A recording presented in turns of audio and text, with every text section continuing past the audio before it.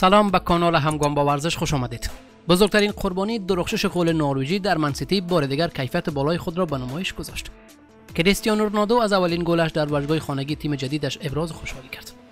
زلاتان ابراهیموویچ عنوان مسنترین کاپیتان تاریخ میلان را از آن خود کرد. ارلینگ هالند ستاره گلزن سیتی بعد از هتریک مقابل برنلی از روند مقتدرانه فعلی تیمش ابراز خوشحالی کرد.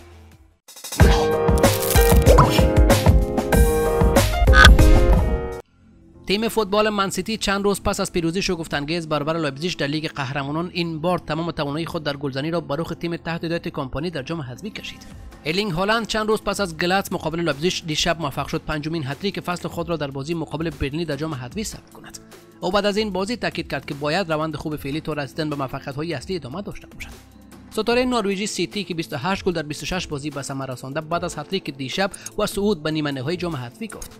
این دو بازی اخیر خیلی خوب بود. قبل از فیفا دی به دو پیروزی قابل توجه 6 0 و 7 0 دست یافتم و خیلی از این بابت خوشحالم. هر گل برای من معنای خاص دارد. همان طوری که برای تیم معنای زیاده دارد.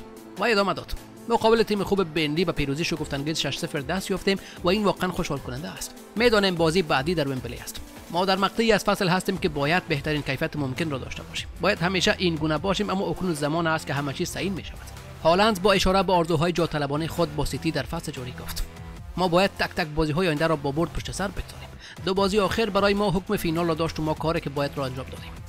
با این حال گواردیولا معتقد است که این درخشش خارق العاده مهاجم نروژی ممکن است به زودی و در آینده نچندان دور برایش دردسرساز شود چون انتظارها را بالا خواهد برد سرمربی سیتی پس از پایان بازی روز گذشته به خبرنگاران گفت.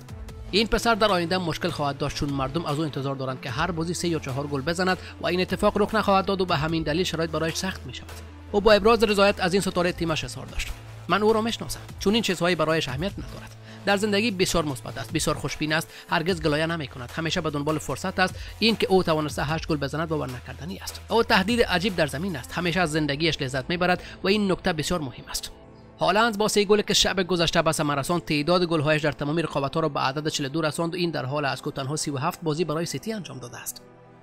شاگردان پپ در این مسابقه شش بار دروازه برنلی را باز کردند. جدا از هتریک هالند ثبت دو گل توسط خولیان آلوارز آرژانتینی ستاره آلبی سلسته در جام جهانی در آن به چشم میآمد آلوارز در نیمه اول پاس نخستین گل هالند را برای او ارسال کرده بود. در نیمه دوم مزد درخشش خود را آنطوری که می‌خواست گرفت و با ثبت گل در دقایق 62 و 73 خودش را بار دیگر در قامت یک گلزن نشان داد این ستاره آرژانتینی که به عنوان مهره ثابت تیم ملی کشورش در جام جهانی عنوان قهرمانی را به دست آورد حالا در سیتی زیر سایه درخشش هالند قرار گرفته و به نوعی فرصت کافی برای عرض اندام به عنوان یک بازیکن در ترکیب ثابت پیدا نکرده است. با این حال آلوارز در این فصل هر بار که موقعیت برای بازی پیدا کرده به خوبی از آن استفاده کرده و موفق شده آمادگیش در ترکیب تیم باشگاهیش را هم به اثبات برساند. کریستیانو رونالدو ستاره پرتغالی باشگاه النصر عربستان بعد از اینکه موفق شد دروازه حریف را از روی ضربه اسکاهی باز کند از اینکه توانسته با این گل زیبا زمین ساز برد تیمش شود ابراز خوشحالی کرد. در دقیقه 78 بازی النصر ابها در حالی که زرد پوشان با یک گل از حریف عقب افتاده بودند یک ضربه آزاد در فاصله 30 متری برای یاران رونالدو به دست آمد.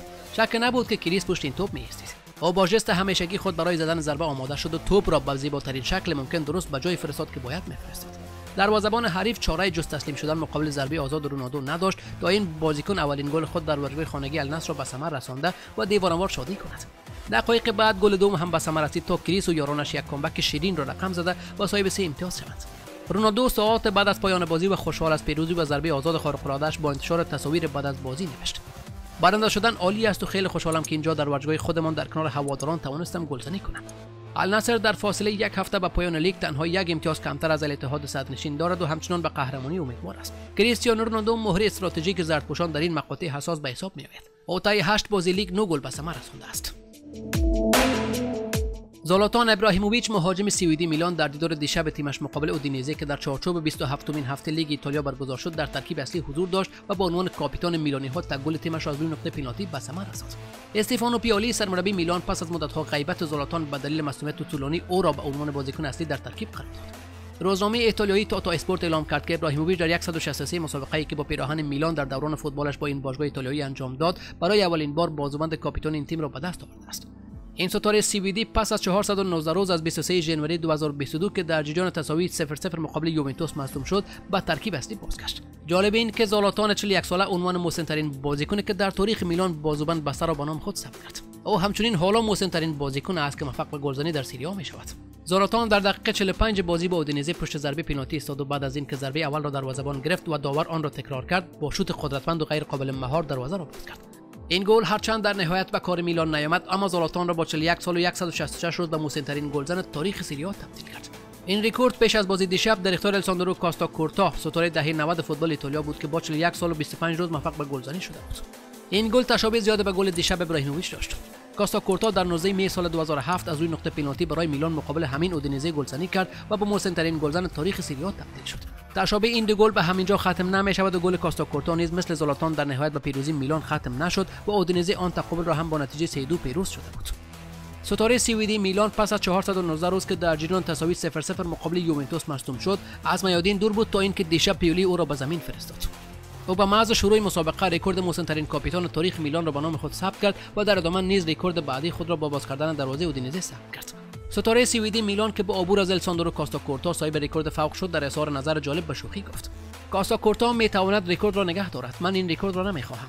او افزود. من به حضور در تاریخ باشگاه میلان افتخار می کنم چرا که اینجا یک باشگاه بزرگ با تاریخ کهن است. بازیکنان بزرگ اینجا بودند که کارهای شگفتانگیز انجام دادند. حضور نام من در کنار نام آنها بسیار پرمعناست از بستن بازبند کاپیتانی هم بسیار خوشحالم ولی متاسفانه گلی که به ثمر رساندم در نتیجه بازی تاثیرگذار نبود و کار آن طوری که می‌خواستیم پیش نرفت. ابراهیموویچ درباره بازگشت خود به میادین بعد از یک سال و دو ماه گفت. احساس خیلی خوب در زمین داشتم. چهارده ماه بود که بازی نکرده بودم و مهم بود که در فرم ایدئال باشم. اگر مثل امروز حس خوبم را حفظ کنم می‌توانم همچنان بازی کنم و هیچ شک به خودم ندارم. زلاتان قرار نبود کاپیتان مقابل اودینزه باشد اما اسماعیل بن ناصر و دیگر هم تیمیهایش خواستار این کار شدند. او در این رابطه افزود. اسماعیل به اتاق من آمد و گفت می‌خواهم تو کاپیتان باشی. با او گفتم خیلی خوب فشار از روی تو کم می‌کنم و اجازه می‌دهم که روی بازی تمرکز کنیم. ابراهیموویچ بعد از اینکه ضربه پنالتی اولش را دروازه‌بان اودینزه گرفت. در تکرار آن که جنجال زیاد هم داشت با قدرت هرچه تمامتر به توپ ضربه زد تا جایی حرف و حدیث باقی نگذارد.